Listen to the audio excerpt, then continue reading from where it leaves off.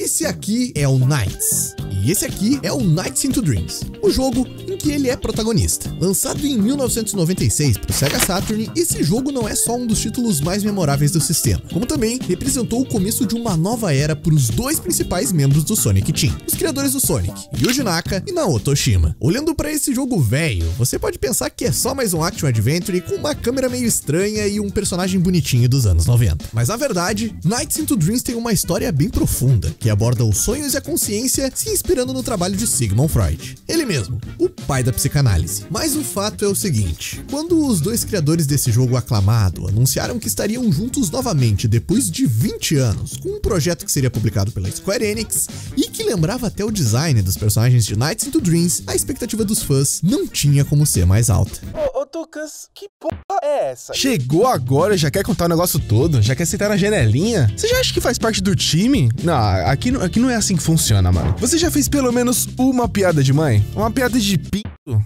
Ah, dá licença. Nossa, cara, verdade. Foi mal. Eu não queria ser grosso com você. Inclusive, até sua mãe já disse que eu era muito grosso. Eu vou dar uma maneirada nisso. ah, moleque, agora sim. Bem-vindo. Voltando. Uou, uou, uou, uou. Pera aí. Sabe quem mais tem algo a dizer sobre a sua mãe? não eu. Não, eu tô aqui só para falar do nosso patrocinador Wondershare Filmora 10, o editor de vídeo poderoso e acessível para iniciantes que ficou ainda mais completo com a sua nova atualização. Com ele você consegue criar edições impressionantes em só alguns minutos, é só arrastar um dos inúmeros efeitos disponíveis até a timeline e pronto, você pode até editar na privada. Com a versão de Filmora Go é só clicar nos links que vão estar tá na descrição e se inscrever no canal deles para aprender todos os macetes de Wondershare Filmora Hora 10. Voltando. Sim, esse jogo tinha tudo para dar certo. Os deuses se juntaram para lançar essa obra de arte que todos estavam aguardando ansiosamente para jogar. Só que Tava mais pra um Mighty Number no. 9 2. O que eu falei no último vídeo pra vocês, hypar jogos não tá dando certo. Porque o que aconteceu com esse Mighty Number no. 9 foi exatamente a mesma coisa que rolou com Balan Wonderland. Na verdade é o Wonderworld. É, é verdade, Wonderland. E sabe o que acontece quando vocês hypam demais, muito um jogo? Pois é, como pensar em Balan Wonderland sem pensar em Mighty Number no. 9? Ô, Tucas, você não acabou de me falar que era Wonderworld? Nossa, verdade. Difícil de lembrar disso.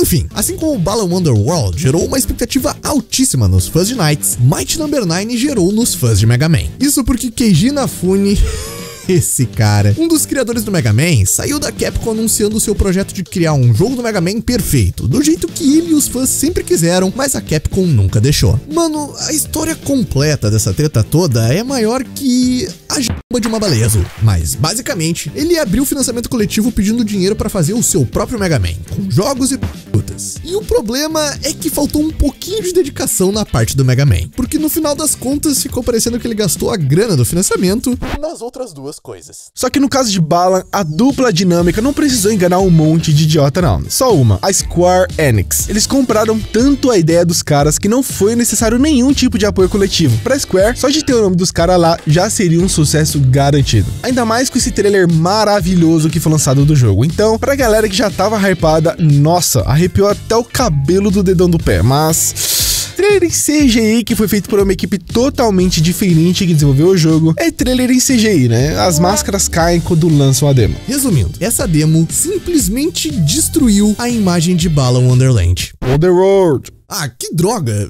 Até o final do vídeo a gente dá um jeito de lembrar disso. Normalmente, o que se espera de uma demo é que ela dê um gostinho pro jogador querer comprar o jogo. Mas a demo de Balan deixou quem jogou com um gostinho de. Eh, como é que eu posso dizer? De anos? É, isso aí mesmo. Obrigado, Léo. Esse gostinho desagradável de um jogo com uma gameplay limitada e que parecia muito mais um plataformer que estava sendo lançado pro PlayStation 2, ligou o alerta vermelho nos desenvolvedores. Em uma carta aberta, como resposta ao feedback pesado que receberam da demo, os devs informaram que iriam trabalhar num patch pro lançamento do game, focado em resolver bugs da câmera, melhoria dos controles de movimento e de desempenho. Mas nesse mesmo comunicado, eles também deixaram claro que naquela altura do desenvolvimento não ia ser possível melhorar todos os pontos negativos levantados sobre o jogo. Ou seja, já dava para saber que Balan Wonderworld não seria uma experiência muito diferente do que foi entregue em sua demo, que inclusive pouco tempo depois foi retirada às pressas pela Square Enix de todas as lojas digitais. Vamos nos aprofundar e entender a proposta que o jogo quer nos dar. O game possui dois personagens, Emma e Léo, e com eles você precisa usar suas habilidades especiais dos trajes. Sim, roupas, vestimenta. Você entendeu? Para explorar o mundo das maravilhas e como funcionam essas habilidades. Durante sua gameplay você vai encontrando roupas e que cada uma possui habilidades únicas e com elas você consegue ir passando dos puzzles, mas até aqui bem tranquilo, né? Pega a roupa ali que é necessária para resolver o enigma, guarda no inventário e quando você precisar dela para resolver um outro enigma, é só vesti-la de novo. Fácil de lembrar o que cada roupa faz quando você tem, sei lá, 10 roupas. Só que isso fica um pouco mais complicado nesse jogo, já que por algum motivo os desenvolvedores decidiram que ele teria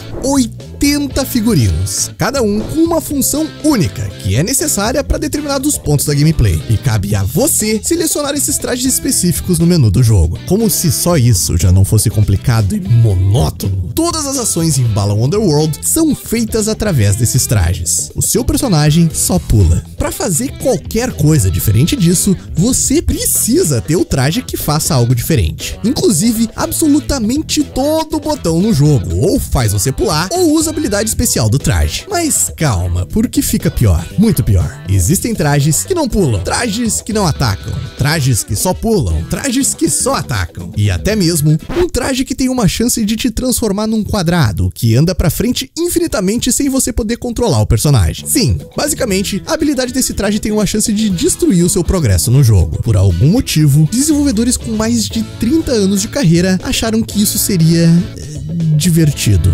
Dá pra piorar? dá, claro que dá. Sabe aquele BO grandão que aconteceu quando um episódio do Pokémon passou na TV e causou um surto de epilepsia em várias crianças que foram parar no hospital? Então, Bala Wonderland. Léo, Wonder World. O quê? Você falou errado de novo. Não falei não. Falou sim. Ah, caguei. Ninguém liga pra esse jogo. A versão base desse jogo possui o mesmo problema. Durante a luta contra o boss, as luzes não param de piscar. Não vamos mostrar aqui porque, né, motivos óbvios, mesmo que a grande maioria que sofre com isso são as crianças. Só que pegou tão mal pro jogo porque depois de detonarem ele tanto quando saiu a demo, eles fizeram uma declaração de que o jogo estaria focado no público infantil. O que pelos trailers e declarações, obviamente, era claro que eles queriam pegar o público mais velho também. Mas mesmo assim, se o jogo é pro público infantil, será que causar um ataque epilético é um easter egg pros fãs do Pokémon? Será que durante o dia eles são produtores e à noite são DJs? Olha, não duvido de mais nada. Tudo isso deu o resultado do sucesso de vendas com duas mil cópias físicas vendidas no Japão. Estouraram, hein? Ver esse jogo fracassar tão feio, justamente no lugar em que ele deveria ter feito mais sucesso, gera muitas perguntas e poucas respostas. Bala Wonderworld é um coletatom, um gênero que define os jogos de plataforma que tem uma série de itens para serem coletados através de desafios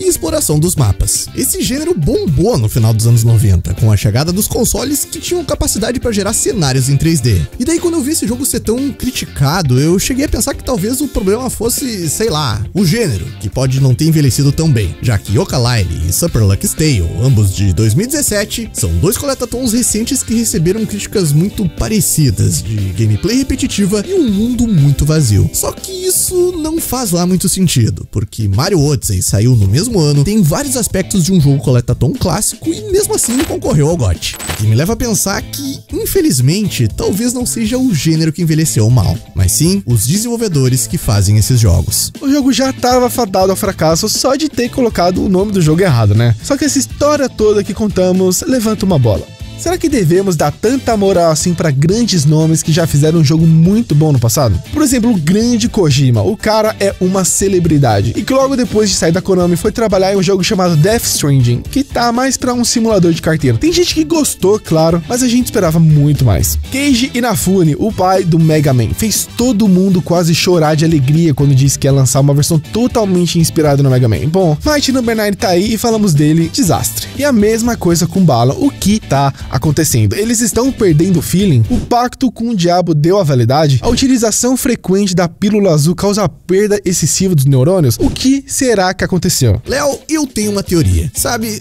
a indústria de games é muitas vezes injusta. Alguns nomes surgem e existe essa cultura que faz nós, os jogadores, endeusarem as grandes mentes que criam os nossos joguinhos. A gente é parte do problema, porque quando eu vejo Death Stranding, Might Number 9 e Balan Wonder alguma coisa, jogos que nem haviam nascido e já tinham o status de serem incríveis só por conta dos seus criadores, eu percebo que o sucesso de um bom jogo não é mérito exclusivo de um ou dois nomes envolvidos no projeto, mas sim de uma equipe enorme de pessoas dedicadas que raramente são creditadas da maneira que deveriam. E depois dessa declaração que o Yuji Naka deu, falando que Balan seria a sua última grande chance de criar um novo plataforma 3D, espero que mais desenvolvedores de renome reflitam sobre isso e não se apoiem exclusivamente nos seus uh, nomes. Tem uma coisa que eu não sei até agora. É Wonderland ou Wonderworld? Cara, com certeza absoluta é.